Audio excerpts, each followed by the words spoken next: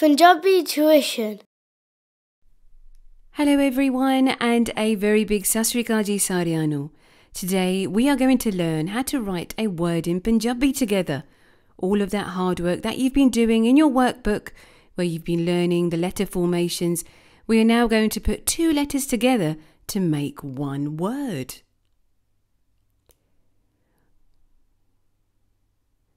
What you will need for today's lesson is a line notebook and a pencil or a pen.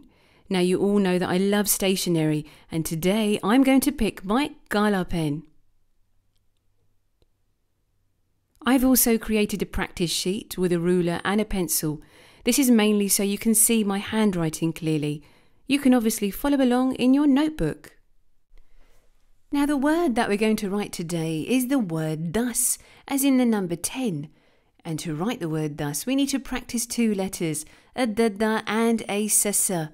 So let's practice the dada first.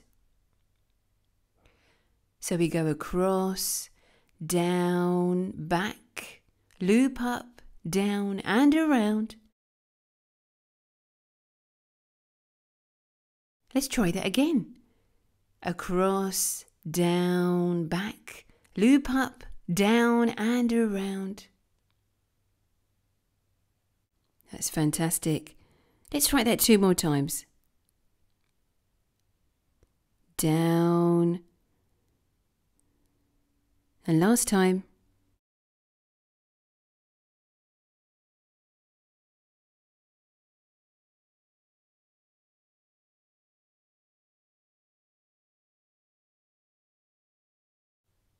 Now the second letter that we need to write the word dus is a sasa. So let's practice the strokes. Across, down, loop and across. And then we stroke down.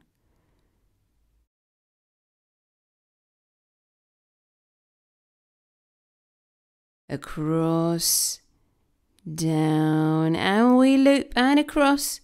And we go down. Now, while you practice your second two, I just want to let you know this is my preferred method of creating the letters. Lots of people have different other ways as well, and as long as we get the end result, it's all fantastic.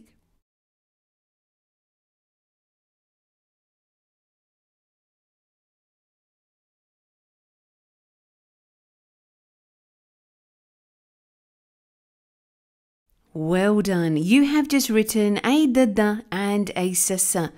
Now we need to link them both together to make one word.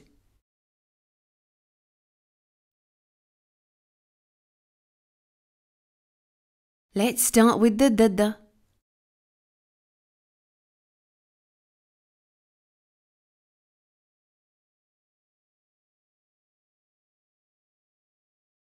Now let's write the sasa. Now in three, two, one. You have just written your first word in Punjabi. How amazing is that? Let's write it again.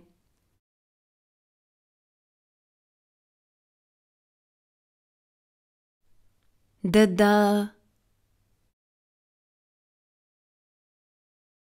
Sasa.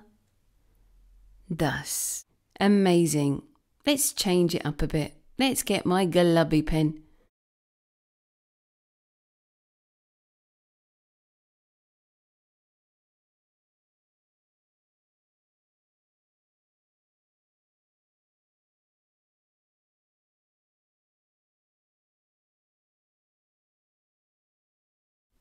And one last time.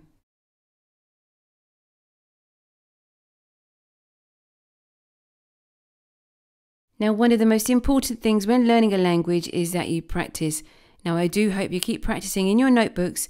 And if you enjoyed this lesson, do give it a thumbs up. And until next time, goodbye and sasrikal.